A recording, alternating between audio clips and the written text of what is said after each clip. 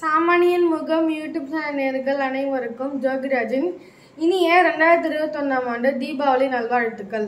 இந்த தீபாவளியை கொண்டாடுறதுக்கு பல பேருக்கு பல காரணங்கள் தெரியும். அதுக்கு பல புராண கதைகளும் உண்டு. ஆனால் இன்னைக்கு நம்ம என்ன பார்க்க போகிறோம் அப்படின்னா லட்டு தீபாவளியை பற்றி தான் பார்க்க போகிறோம்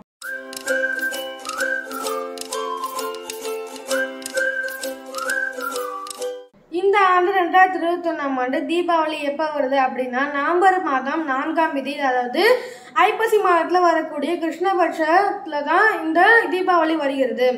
அன்றைய தினத்தில் தான் வந்து கேதார கௌரி விரதமும் அனுஷ்டிக்கப்படுகிறது.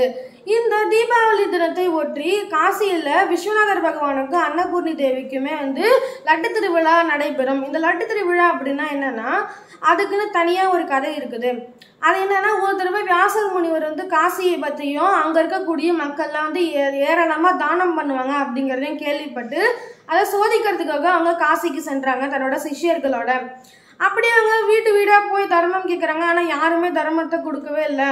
அப்புறம் கடைசியே ரொம்ப பசியால் வாடி கடைசியாக ஒரு இறுதியில் ஒரு வீடை வீட்டில் போய் கதவு தட்டுறாங்க. ஆனால் அங்கே ஒரு பெண்மணி கதவு திறந்துட்டு திரும்ப மூஞ்சில் அடித்த மாதிரியே திடீர்னு சாத்திட்டாங்க. அதை பார்த்து வியாசர் முனிவர் ரொம்ப கோவப்பட்டாங்க. ஆனால் உடனே வந்து சாத்தின கதவு திறந்தது. திரும்ப அந்த பெண்மணி வந்து அவங்கள எல்லாரையும் அழைச்சிட்டு வீட்டுக்குள்ளே அமர வச்சு அவங்களுக்கு இலையை போட்டுனாங்க.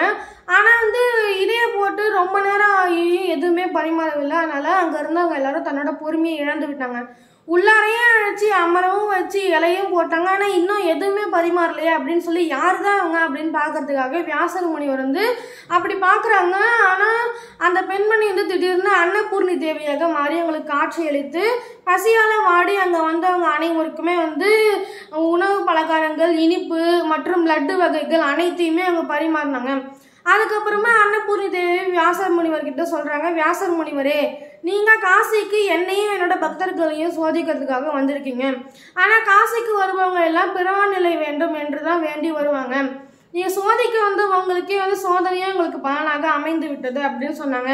இதை கேட்டு வியாசர் முனிவர் வந்து தன் அன்னபூர்ணி தேவி கிட்ட மன்னிப்பு கேட்டுக்கொண்டாங்க அன்னபூர்ணி தேவியே நான் என்னோட தவறை உணர்ந்து விட்டேன். என்னை எப்படியாவது மன்னித்து விடுங்க. நீங்கள் எங்களுக்கு அருளக்கூடிய பிறவாநிலை தான் வந்து லட்டு போன்ற இனிமையானது.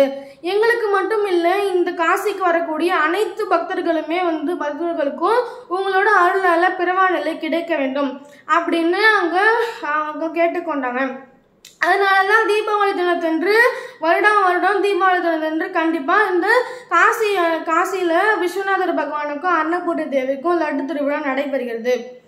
இந்த தீபாவளி தினத்தன்று அங்கே காசியில் அன்னபூர்ணி தேவியோட கோயிலில் வந்து அன்னபூர்ணி தேவியோட சிலை தங்கத்தாலே வடிவமைக்கப்பட்டிருக்கும்.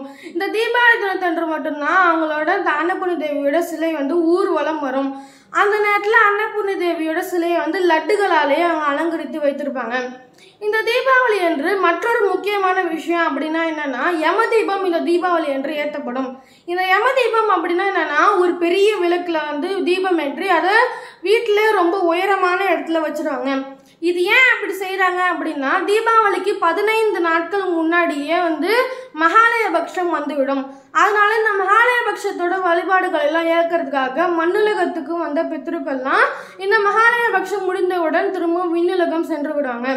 அதாவது இந்த மகாலய பக்ஷம் முடிகிற தான் இந்த தீபாவளியாக கொண்டாடப்படுகிறது. அப்படி அங்கே திரும்ப விண்ணுலகம் போகும்போது இந்த யம தீபம்னு சொல்லக்கூடிய தீபத்திலேருந்து வரக்கூடிய ஒளி அவங்களுக்கு வழிகாட்ட உதவும் என்று சாஸ்திரங்கள் சொல்கிறது. நம்மளுக்கு தீபாவளி கொண்டாடுறதுக்கு பல கதைகள் தெரியும் பல சம்பவங்கள் தெரியும் பல விதமாக கதை நமக்கு சொல்லப்படுகிறது. ஆனால் இந்த எல்லா கதைகளிலுமே வந்து என்ன உணர்த்த வராங்க அப்படின்னா வந்து இந்த தீபாவளினாலே நான் நல்லது பிறந்து கெட்டது அழிஞ்சு கொண்டாடக்கூடிய ஒரு திருநாள் தான் இந்த தீபாவளி என்ற இந்த எல்லா கதைகளிலுமே உணர்த்தப்படுகிறது. இந்த தீபாவளி இந்தியா முழுவதும் மட்டும் இல்லை உலகம் முழுவதுமே கொண்டாடப்படக்கூடிய ஒரு மதுகலமான பண்டிகைனா இந்த தீபாவளி தான் ஆகும். இந்த தீபாவளி அன்று வங்காளர்கள்லாம் என்ன பண்ணுவாங்கன்னா காளி தேவியை பூஜித்து இது இந்த தீபாவளியை கொண்டாடுவாங்க. ஜெயினர்கள்லாம் வந்து மகாவீரர் முக்தி அடைந்த நாள் இது அப்படின்னு சொல்லி இந்த தீபாவளியை கொண்டாடுவாங்க.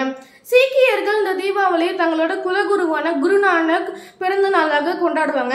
அமிர்தசரஸ்ல இருக்கக்கூடிய பொற்கோவில்ல அன்னைய தினத்தன்னைக்கு வண்ண வண்ண விளக்குகளாக அவங்க அலங்கரித்து இந்த தீபாவளியை கொண்டாடுவாங்க. ராஜஸ்தானியர்கள்லாம் என்ன பண்ணுவாங்கன்னா இந்த தீபாவளி என்று ராம பகவானை வழிபடக்கூடிய நாளாக இந்த தீபாவளியை கொண்டாடுவாங்க. மகாராஷ்டிராவில் இருக்கிறவங்கலாம் இந்த தீபாவளியை வந்து நரக சதுர்த்தி என்று லக்ஷ்மி பூஜையையும் குபேர பூஜையையும் கொண்டாடி நான்கு நாட்கள் விமர்சனையாக கொண்டாடுவாங்க. இந்த தீபாவளியை கொண்டாடுறதுக்கு மற்றொரு காரணமும் இருக்குது. அது என்னன்னா வந்து ஒரு வருடத்துல வந்து இப்போ வணிகர்களுக்கெல்லாம் வந்து ஒரு அதிகமான வருமானம் வரக்கூடிய நாள்னா இந்த தீபாவளி டைம் தான். ஏன்னா வந்து அப்பதான் நிறைய வெடி வாங்குறோம். அது மூலமாக உங்களுக்கு பணம் சேருது. நிறைய புத்தாடைகள் வாங்குறோம். அது மூலமாக உங்களுக்கு பணம் சேருது. அது மட்டும் இல்லாமல் நிறைய இனிப்பு வகைகளையும் வாங்குறோம். அதன் மூலமாக உங்களுக்கு பணம் சேருது. அதனால இந்த தீபாவளி வந்து இப்போ நான் இப்போ வரக்கூடிய நாட்கள்லாம் வந்து இது இந்த காரணத்துக்காகவும் கொண்டாடப்படுகிறது. ஆக மொத்தம் வந்து பக்தியும் மனநிறைவும் குதூகலமும் வந்து வானம் வரைக்கும் தொட்டு வரக்கூடிய ஒரே பண்டிகைனா அந்த தீபாவளி மட்டும்தான். எல்லாருக்குமே வந்து இன்னொரு தடவை நான் இனிய தீபாவளி நல்வாழ்த்துக்கள் சொல்லிக்கிறேன். இந்த தீபாவளியை வந்து நீங்கள் சேஃபாக மாஸ்க்லாம் போட்டு கடைக்கெல்லாம் போகிறீங்கன்னா சோஷியல் டிஸ்டன்ஸை மெயின்டைன் பண்ணி நீங்கள் இந்த தீபாவளியை சேஃபாக கொண்டாடுங்க. மேலும் ஒரு பதில் உங்களை சந்திக்கும் வரை உங்களை வந்து விடைபெறுவது உங்கள் ஜெகராஜ் நன்றி வணக்கம்.